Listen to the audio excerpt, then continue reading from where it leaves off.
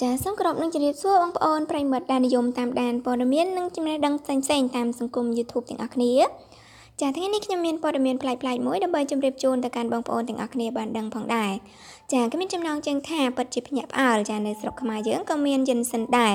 ហើយមានគុណភាពល្អដូចប្រទេសចិនទៀតផង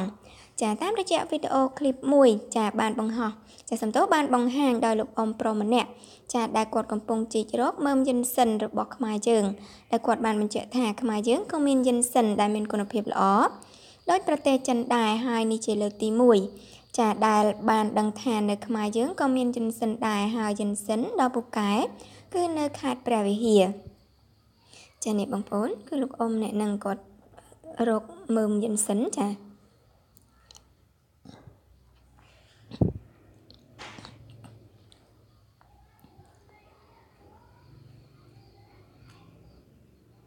ចានេះបងប្អូននេះមើលយិនសិនហ្នឹងចា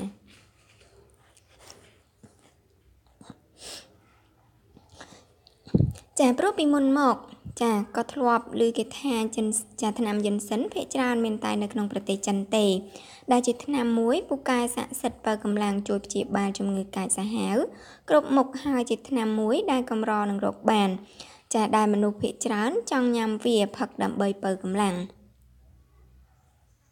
ចានេះបងប្អូនយិនសិនដែលគាត់រកឃើញហ្នឹងចា នៅខ្មែរយើង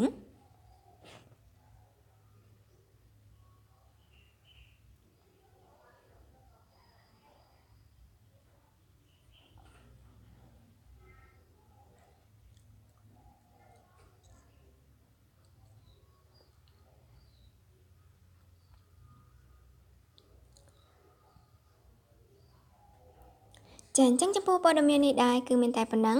ចាសូមអរគុណសម្រាប់ការតាមដាននៅព័ត៌មានមួយនេះផងដែរចាសូមកុំភ្លេចជួយចុច Subscribe Like និង Share ម្នាក់មួយផងចាដើម្បីទទួលបានព័ត៌មាននិងចំណេះដឹងថ្មីៗបន្ថែមទៀតផងដែរចាសូមអរគុណ